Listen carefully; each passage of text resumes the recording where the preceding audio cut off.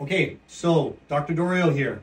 Want to explain to you what I have here in front of me. This is called the Optomap, okay? So this is a fundus camera, and it basically takes a picture of the back of the eye. Now, normal fundus cameras don't get a wide range of the retina, okay?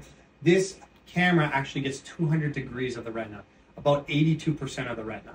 Um, so we do this to try to identify any diseases that are happening in the back of the eye. We can detect freckles, we can detect diabetes, glaucoma, macular degeneration, um, leukemia, tumors, freckles. So we can detect a lot from here. Um, so it's very easy for the patient. They come in, they will put their head in here at an angle, and they'll see a target, and it'll take a picture, and we'll get at 82% of the retina, 200 degrees. Um, I don't want to say it, um, it takes away dilation. So when we look at a person's eye, we have to put drops to dilate them so we can look in the back of the eye.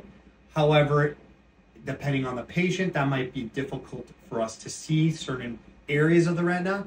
Whereas when you just take a picture, we can take a picture, it gets everything, and then we can move around in it. Um, so this has been very excellent in terms of catching early signs of retinal tears, breaks, detachments. I get several people that come um, that had eye exams, they've had floaters and flashes, and they've said, yeah, everything is good. And I do the Optomap and I'm picking out retinal tears and retinal detachments way out there. So I think this is very beneficial for people to have it done when they're getting their eye exam.